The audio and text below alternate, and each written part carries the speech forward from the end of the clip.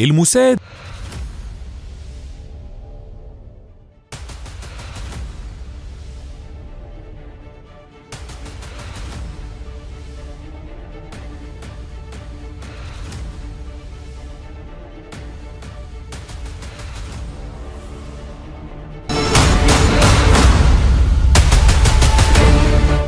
الموساد يعلن عن حاجته لزيادة أعداد مصايد العسل. الجمال والذكاء هم كل الشروط والحاخامات بيقولوا إن كل شيء مباح علشان خاطر إسرائيل. المال والجمال والحيلة في حرب الموساد كل شيء مباح. قدروا من خلال الجنس الناعم إنهم يغتالوا قادة ويكشفوا خطط ويفجروا مفاعلات نووية. إسرائيل بتديهم رتب عسكرية وكمان بعضهم مسك وزارات كاملة. صديقي المشاهد لو عايز تعرف أكتر عن مصايد العسل وأسراره في الموساد الإسرائيلي وعن النساء اللي قاموا بعملياته وإزاي استخدموا حيالهم من الجمال الفاتن مع المكر والدهاء يبقى لازم تتابع معانا الفيديو للآخر. ولكن كالعادة قبل ما نبدأ حلقتنا ما تنسوش تعملوا لايك للفيديو واشتراك في القناة وتفعلوا زر الجرس علشان يوصل لكم كل جديد.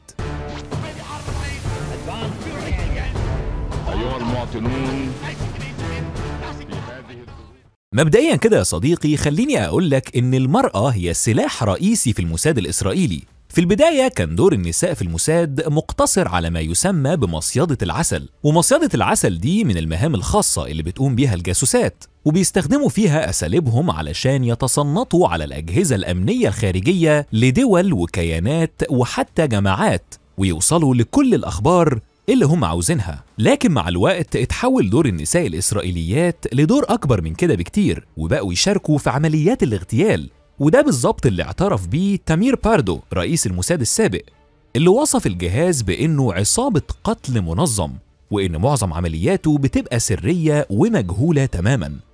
العجيب كمان إن جهاز الموساد نشر إعلان في الصحف الإسرائيلية وفي شبكات التواصل الاجتماعي بإنه محتاج عدد كبير من النساء لتجنيدهم. واشترط في صيغة الإعلان إن النساء اللي راغبة في التقديم لازم تكون صاحبة شخصية مميزة علشان يتم تعيينها في وظيفة ضابطة جمع معلومات.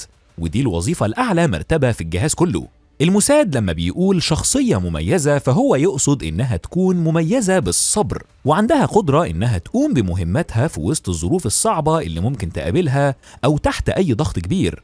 بيفضل كمان إن النساء تكون بتعرف تتكلم لغات أجنبية لأنها هتقوم بنشاطات طارئة في بعثات خارجية لو اتطلب الأمر منها. فالموساد بيحب يجند النساء اللي عاشوا لسنين طويلة في الدول الغربية لأنهم بيلاقوا سهولة في الكلام بلغة البلد اللي اتولدوا فيها. وطبعا وقبل كل شيء لازم تتخلى النساء عن أي رادع أخلاقي علشان تقوم بوظيفتها كما ينبغي أن تكون. ومن ضمن الشروط اللي بتتقبل بيها هي الدقة والحذر والتركيز في المهام الموكلة ليها علشان تتجنب الوقوع في أي خطأ يكشفها ويكشف منظومتها. بعد كده بتحصل عملية تصنيف قاسية جدا للمتقدمين وبيقبل الموساد من بين 100 مرشحة نسائية مرشحة واحدة بس فيها كل المواصفات اللي ذكرناها. مع قدرتها على التمثيل والمخادعة والتأثير في الأشخاص. الحقيقة كمان إن تاريخ جهاز المخابرات الإسرائيلي حافل بعشرات القصص والحوادث اللي بتشير لكتير من فتيات الموساد في عمليات التجسس والخطف والاغتيالات وأشارت كتير من التقديرات إن النساء بيمثلوا حوالي 20% من القوى العاملة في المهام التمهيدية والتكتيكية جوه الموساد وبيتصرف على ميزانية الجهاز التابع لرئيس الوزراء الإسرائيلي مبالغ ضخمة وكبيرة جدا. ودلوقتي بقى يا صديقي تعال أعرفك على أشهر النساء في جهاز الموساد الإسرائيلي واللي كان منهم إلزا ماجان اللي وصلت لأعلى منصب بلغته امرأة في تاريخ الجهاز اللي هو منصب نائبة رئيس الموساد. إلزا اتولدت في القدس لوالدين من أصل ألماني واختارها الموساد في الستينيات علشان تسافر على النمسا وتقوم بتجنيد عالم ألماني متخصص في تصنيع الصواريخ ووقع الاختيار على الطعم لأنه كان بيشتغل مع طاقم علماء ألمان في مصر. وعلى علاقة ببرنامج التسليح المصري في عهد حكم الرئيس الراحل جمال عبد الناصر. وبعد كده اتنقل العالم لإسرائيل وعرفت إلزا تجنده وقدم أسرار البرنامج برمته لمخابراتها. بعد نجاح إلزا مجان في المهمة اللي كانت وقتها عندها فيها 24 سنة بس شاركت في عمليات تانية كتير فقامت بملاحقة قادة منظمة أيلول الأسود. اللي بحسب كلام تل أبيب فهي مسؤولة عن مقتل الرياضيين الإسرائيليين في ميونخ سنة 1972 فالموساد كان معتمد على مجان في جمعها لمعلومات عن القادة الفلسطينيين علشان يعرفوا يستهدفوهم. مجان بعد خدمتها في الموساد اتقاعدت وبقت كبيرة في السن وبتقضي معظم أوقاتها في ملاعب الجولف وعلى شواطئ البحر مع عيلتها في تل أبيب.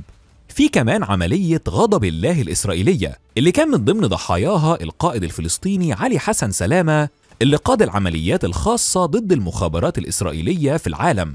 حسن سلامة كان ملقب بالأمير الأحمر وتم اغتياله في بيروت على إيد عميلة الموساد أريكا تشامبرز ودي بقى رسامة بريطانية نقلت عيشتها في بيروت علشان تقوم بالمهمة دي مخصوص. إريكا انتحلت شخصية متطوعة بريطانية في منظمة خيرية. وكانت عضوة نشطة في مخيمات اللاجئين الفلسطينيين في لبنان فاستخدمت في العملية دي أسلوب الانتحال والتنكر بدل من الإغواء. المهم إن إريكا كانت متسترة تحت غطاء التطوع وكانت لما بترجع من رحلاتها في الخارج بتكون حاملة تبرعات للأطفال الفلسطينيين بحجة إنها جمعتها في بريطانيا وبعد كده استأجرت بيت في شارع فيردان بيطل على بيت سلامة وقامت برصد تحركاته ومواعيده.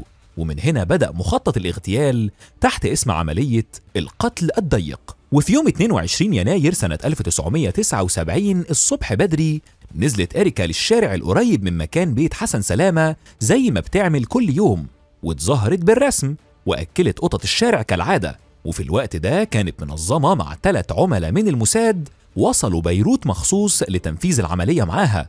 واستأجر واحد من العملاء عربية نوعها فولكس فاجن وقام العميل التاني بتفخيخها علشان تنفجر باللاسلكي. أما العميل التالت فاستلم العربية وركنها على الطريق اللي بيعدي منه القائد الفلسطيني كل يوم. فاستلمت إريكا جهاز اللاسلكي وانتظرت ساعة الصفر. ولما اتحركت عربية سلامة الشيفورليه كان بيرافقوا عربية حراسة. وأول ما قرب سلامة بعربيته من العميلة إريكا ضغطت الإسرائيلية على زر جهاز اللاسلكي وانفجرت السيارة المفخخة وأطاحت بعربية البطل القائد علي حسن سلامة اللي اتقتل في الحال. ومن أشهر عميلات الموساد شولامات كوهان وشهرتها شولا. الحقيقة إن شولا اتولدت في الأرجنتين وكان والدها تاجر قام بتزويجها لتاجر يهودي لبناني اسمه جوزيف كشك وسكنت معاه في حارة اليهود في وادي أبو جميل في بيروت. عارفين شولا الموساد الإسرائيلي سماها إيه بعد نجاح عملياتها ببراعة؟ سماها لؤلؤة الموساد وأطلق عليها كمان اسم سفيرة إسرائيل في بيروت لأنها استخدمت كل حيل مصيدة العسل النسائية لتحقيق أغراضهم الصهيونية بمنتهى البراعة. فكانت بتصطاد الرجال عن طريق تجنيد شابات يهوديات جميلات علشان يوقعوهم في شباكهم. وكانت مهمتها الأساسية هي تهجير اليهود من لبنان على إسرائيل وهما بقى يكملوا شغلهم هناك. شولا كوهين اتمكنت من خلال عملها من إنها توصل لمراكز القرار وعملت علاقات مع شخصيات سياسية وأمنية من وزراء ونواب لأغراض سياسية بحتة لحد ما تم كشف أمرها سنة 1961 وصدر حكم بالسجن على شولا لمدة 20 سنة قضت منهم ست سنين قبل ما يتم تسليمها لإسرائيل بعد حرب 67 في عملية من عمليات تبادل السجناء وكانت دي أول عملية تبادل بين لبنان وإسرائيل. ولأن لبنان قريبة من حدود إسرائيل فكانت عمليات جاسوسية نسائية كتير بتحصل فيها. فكان منها برضو العميلة يائيل مان اللي ساهمت في عملية فيردان وراح ضحيتها ثلاثة من القادة الفلسطينيين وهم أبو يوسف النجار وكمال ناصر وكمال عدوان. وده حصل لما يائيل إدت إشارة للجهاز بالبدء أول ما قربت من الهدف علشان يغتالوهم.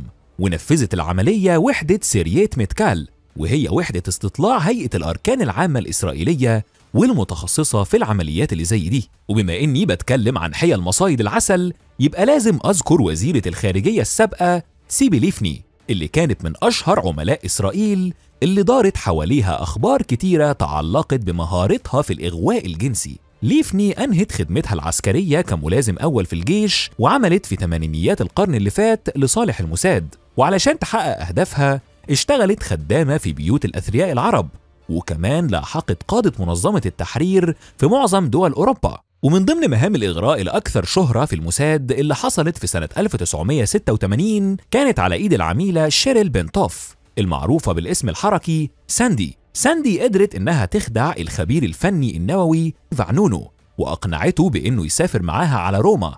واقتنع وسافر وهناك تم اختطافه ونقله في عملية شهيرة جدا على إسرائيل. الحكاية حصلت بالظبط لما الموساد عرف إن فعنونو إدى معلومات سرية عن المفاعل النووي الإسرائيلي ديمونة لصحيفة سانداي تايمز فقرروا إنهم يعتقلوه. لكن فعنونو كان غادر الأراضي المحتلة وأقام في بريطانيا وبحسب المعاهدات الأمنية بين جهازين المخابرات الإسرائيلي والمخابرات البريطاني فما عرفوش إن هم يخطفوا فعنونو وهو على الأراضي البريطانية وللسبب ده قرر الموساد استدراجه لأنه يسيب بريطانيا بإرادته الشخصية ويسافر على إيطاليا. عشان كده جندوا عميلة الموساد الشقراء ساندي اللي عرفت تخدعه وتوقعه في مصيدة العسل لأنها لعبت عليه دور سائحة أمريكية اتعرفت عليه بالصدفة وبعدها أقنعته بطريقتها الخاصة إنه يقضي معاها عطلة آخر الأسبوع في روما بإيطاليا. وبعد وصوله لروما بساعات قام عملاء الموساد باعتقاله وبعدها نقلوه للأراضي المحتلة وحكمت عليه المحكمة بالسجن لمدة 18 سنة بتهمة التجسس وخيانة إسرائيل وكشف أسرار بلاده النووية. ما ينفعش كمان ما نتكلمش عن دور مارسيل نينو في عملية لافون. مارسيل دي كانت فتاة يهودية من مواليد القاهرة اتحكم عليها في مصر بالسجن لمدة 15 سنة بعد ما اتكشف أمرها بالتجسس ضد مصر ومحاولة قيامها بعدد من التفجيرات في مناطق مختلفة وبعدها تم إطلاق سراحها في عملية تبادل السجناء ما بين مصر وإسرائيل بعد حرب 67 راحت بعد كده وعاشت في إسرائيل ومنحوها رتبة مقدم بعد الخدمات اللي قدمتها لصالحهم.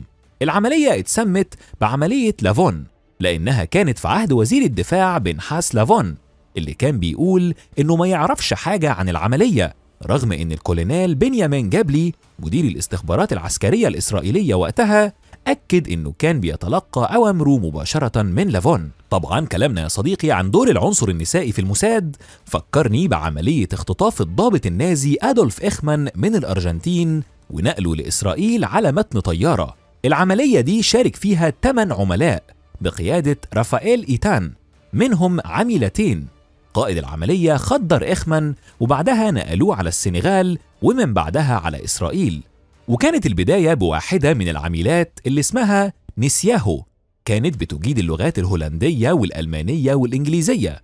سافرت على الأرجنتين بتكليف من الموساد الإسرائيلي واشتغلت مديرة لمنزل إخمان والضابط النازي الهربان لأمريكا الجنوبية ما اكتشفش حقيقتها للأسف لأنها لعبت عليه لعبة الخداع بشكل محكم. وقدرت إنها توصل معلومات عنه للموساد وتعرفهم مكانه وأخباره بالتفصيل. اتحاكم إخمان في جلسات مشهورة واتحكم عليه في النهاية بالإعدام وحرقوا جثمانه ونثروا رماده في البحر. بالمناسبة يا صديقي لو عايز تعرف هم ليه استهدفوا أدولف إخمان يبقى لازم تروح تشوف الحلقة اللي عملناها عنه على قناتنا. المهم إن في بحث أجرته مؤسسة زاموت الصهيونية بيحمل اسم العلاقات الجنسية في سبيل الأمن القومي.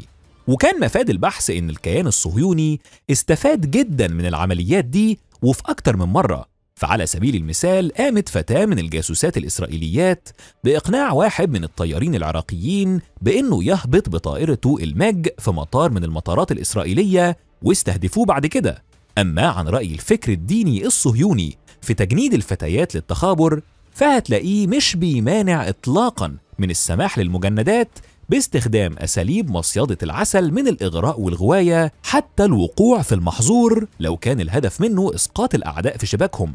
ومش بس كده دول اعتبروه عندهم نوع من العبادة لخدمة وطنهم ولذلك أباح أكبر وأشهر الحاخامات في دولة الكيان واللي هو آري شافت ممارسة الجنس الكاملة للنساء اليهوديات مع الأعداء مقابل الحصول على معلومات.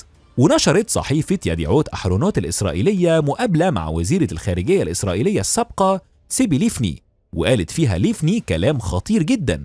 قالت إنها قامت بالكثير من العمليات الخاصة في فترة عملها في الموساد. كمان قالت مواقع وصحف عربية بناء على ردودها في اللقاء ده واللي نقلته يديعوت أصلا عن مجلة التايمز البريطانية اللي أجرت اللقاء معاها في 2009 إنها أقامت علاقات غير مشروعة مع شخصيات مهمة كتير بيشغلوا مناصب حساسة وده علشان تبتزهم ويتم الإيقاع بيهم لصالح جهاز الموساد الإسرائيلي. أشارت كمان إنه مفيش عندها مانع تماما في ممارسة علاقات من النوع ده أو حتى القتل بغرض الحصول على معلومات تفيد بلدها وإنه كله لصالح وطنها وإنها بتعتبر ده شيء شرعي وإن قتل إرهابيين شيء غير محرم وده من وجهة نظرها يعني. من المعلومات المهمة كمان اللي نشرتها صحيفة يديعوت أحرونوت إن إجمالي عدد النساء اللي موجودين في الموساد وصلت لنسبة كبيرة جدا واللي بيلعبوا دور مهم في تفعيل التطبيع بين إسرائيل ودول الخليج. ومن الحكايات عن قوة نساء الموساد اللي اتحكى عن إن واحدة من مجندات الموساد قدرت تعمل علاقة مع رئيس لجنة الطاقة النووية في سوريا إبراهيم عثمان. وخلال وجودها معاه في فندق في العاصمة النمساوية فيينا قدرت إنها تاخد معلومات مهمة من على تليفونه والحاسوب الخاص بيه وتسربها لإسرائيل واللي من خلال المعلومات دي قامت إسرائيل بقصف المفاعل النووي السوري سنة 2007 الخلاصة يا صديقي إن أدوار النساء الإسرائيليات في الموساد كتير جدا صعب أحكي عنها في حلقة واحدة لكن الغرض من الكلام عنهم هو علمنا بالمبادئ اللي هم ماشيين عليها واستخدامهم المباح تماما لمبدأ الغاية تبرر الوسيلة أو بمعنى أصح الغاية تبرر الوسيلة الدنيئة. وبكده تكون خلصت حلقتنا. هستنى رأيكم كالعادة في التعليقات. وما تنسوش تقولوا لي عاوزين مواضيع إيه تانية نعرضها في القناة. ما تنسوش كمان تشوفوا المواضيع اللي فاتت والمواضيع اللي جاية وتعملوا لايك للفيديو واشتراك في القناة وتفعلوا زر الجرس علشان يوصل لكم كل جديد. سلام.